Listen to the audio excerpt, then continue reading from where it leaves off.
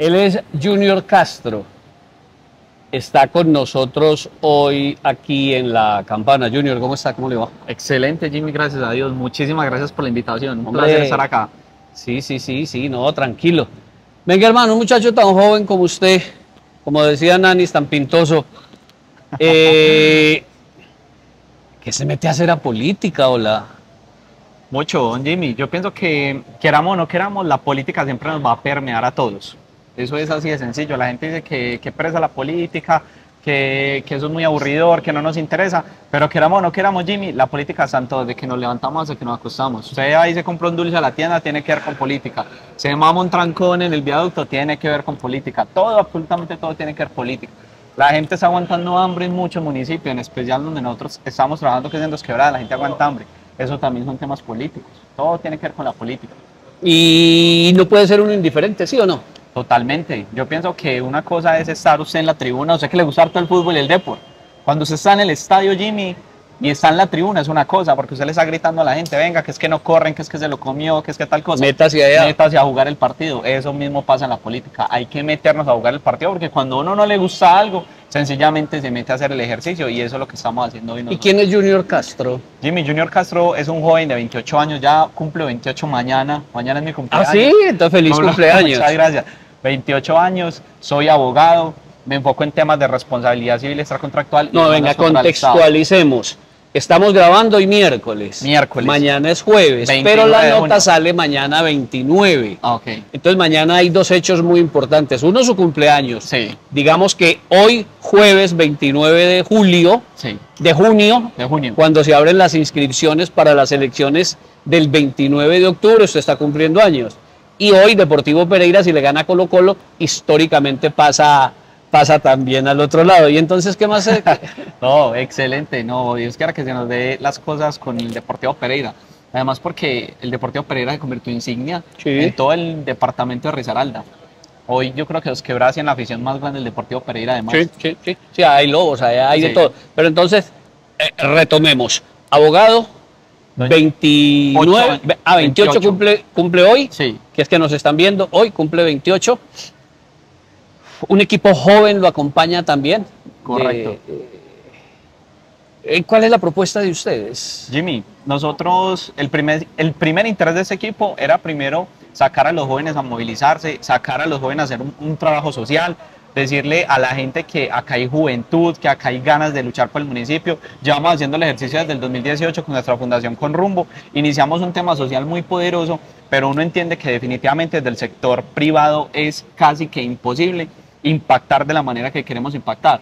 Imagínense que nosotros, Jimmy, con nuestro equipo, con nuestros amigos, todos, la mayoría son profesionales, son abogados, arquitectos, ingenieros, administradores de empresas, psicólogos, y les dije, venga, metámonos a hacer el ejercicio político que definitivamente es necesario. Cuando, cuando iniciamos con nuestra fundación recogíamos todos de a 20 mil, de a 15 mil, y eso alquilábamos inflables o le hacíamos cine al parque a los niños para sacarlos un poco de ese entorno en el que hoy se mueven los jóvenes en dos quebradas. Salen de su casa al parque y lo primero que encuentran es un jíbaro para que venda o para que la consuma y no tenemos otras alternativas. Entonces digamos que le estamos apostando a eso. Ya desde el sector privado eso es imposible. ¿Qué queremos hacer, Jimmy, desde el sector público? Generar políticas públicas que amarren el presupuesto porque además sabemos hacerlo. Mire, nosotros eh, estamos apuntándole a que con la ayuda de Dios podamos ostentar eh, un cargo o un espacio en el Consejo Municipal de Los Quebradas. Hoy somos precandidatos, estamos ya a postres de, de- de inscribir nuestra candidatura, pero desde esos espacios se pueden amarrar los presupuestos. Hoy los candidatos a- O al sea, Consejo... a- ama- amarrar como frase callejera, pero te- técnicamente, Técnicamente, es distinto. Exactamente. A ver, con una política pública lo que podemos hacer es eh, direccionar los presupuestos para que esos presupuestos, eh, el presupuesto municipal o el alcalde más bien por intermedio de las secretarías, en este caso la de Cultura, de Recreación y Deportes, incluso la, la Secretaría de Educación, pues efectivamente se inviertan los recursos en los jóvenes, en los niños, que les lleven instructores de fútbol. Mire, yo he recorrido con nuestro equipo muchas comunidades.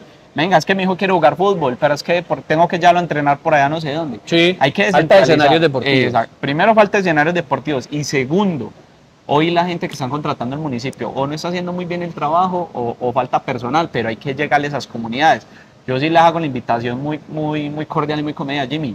Hoy tenemos barrios como La Almeda, Júpiter, todo lo que es la comuna 10, la comuna más afectada que es la 9 en temas de microtráfico. Ya no llegan instructores de nada. Entonces, y eso que la Comuna 10 tiene arriba Villacarola con todos esos tiene- escenarios deportivos. Exactamente, y aún así eso se queda corto, porque es que la gente definitivamente no, es muchísima.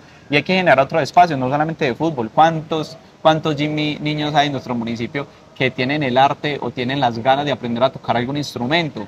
Y no tenemos una casa de la cultura. Hay, muchos, hay muchas, eh, muchas aristas donde nosotros podremos llegar a impactar. Señor, Colombia Renaciente. Es un partido que nos abrió las puertas, que estamos ahí a, las a la víspera ya de inscribir por, por ese partido. Es un partido que ha dado garantías, que ha dado lo que a diferencia de otros partidos eh, o popularmente se conoce que no amarran a los candidatos a seguir algún direccionamiento político y eso en últimas es uno lo que busca, Jamie, tener la capacidad de decidir, que uno no tenga de una u otra forma un jefe político que le esté diciendo a usted, venga, es que tiene que ser por aquí, así, no.